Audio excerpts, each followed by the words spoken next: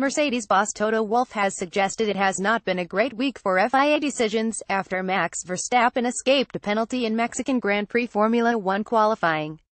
Valtteri Bottas was on his first flying lap in Q3 when he came up behind a slow Verstappen in the stadium section. Verstappen moved to the left on the exit of turn 12 to try to get out of the way, but Bottas had to jink around the Dutchman to avoid him and then locked up at the following corner. The matter was investigated by the stewards but it was deemed that Verstappen did not deserve a penalty as he was not judged to have impeded Bottas.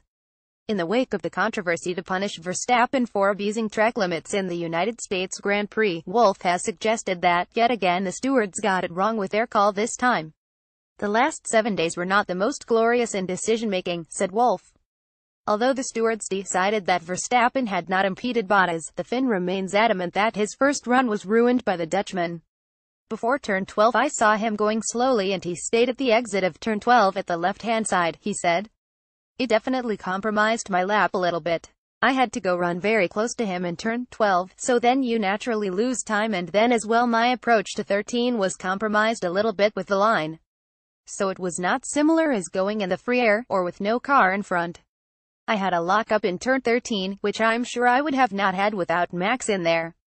And then I had only one shot in Q3 in the end and when you don't have a lap on the board, normally you refuel for an extra lap, which costs you time, and also you don't have the experience from the run before in the last sector, which was actually the main losses for me in Q3, so, yeah, it's happened and there's no penalty, so that's history.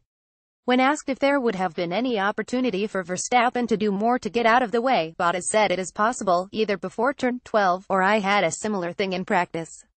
Someone suddenly came close to me and I pulled inside immediately at the exit of turn 12, so the car behind could be in completely free air.